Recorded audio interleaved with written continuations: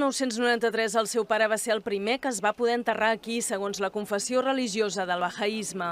A Catalunya hi ha uns 200 membres d'aquesta religió i la majoria s'enterren al cementiri de Roques Blanques perquè aquí és on han trobat més facilitats. Aquí nos hemos sentido muy, muy bien tratados. Es importante tratar al cuerpo, que ha sido el receptáculo del alma, durante mucho tiempo de manera digna, de manera correcta.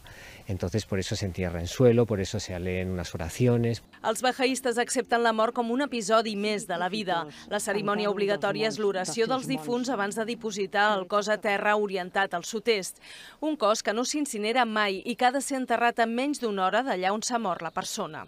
El tanatori la família sempre renta el cos del difunt es renta molt, amb molt de cuidado i llavors s'embolcalla el cos amb una tela blanca.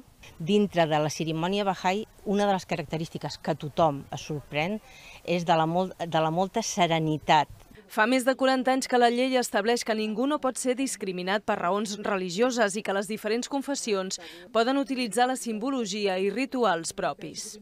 I a Catalunya cada vegada hi ha més diversitat. Llavors tenim moltes, moltes eh, diferents demandes. En una vegada ens van demanar fer un enterrament abans que surti el sol, a les 5 i mitja del matí, i abans van fer un, un càtering i si està dintre del que marca la llei doncs no li posem cap problema. La Generalitat acaba de publicar un document que amb el títol La dignitat en les atencions funeràries recorda als ajuntaments que els cementiris han de reservar parcel·les per diferents confessions religioses, però hi ha comunitats com la musulmana que han tingut problemes per trobar espais, sobretot durant la pandèmia. La pandèmia va posar en evidència que no estàvem del tot preparats per respectar la diversitat de creences. Doncs això és una mica una assignatura que caldrà anar millorant. A Catalunya hi ha 14 confessions religioses i a part hi ha també els ateus i els agnòstics.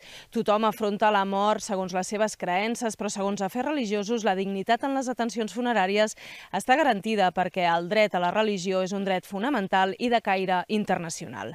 Mireia Prats i Riera, TV3, el Papiol.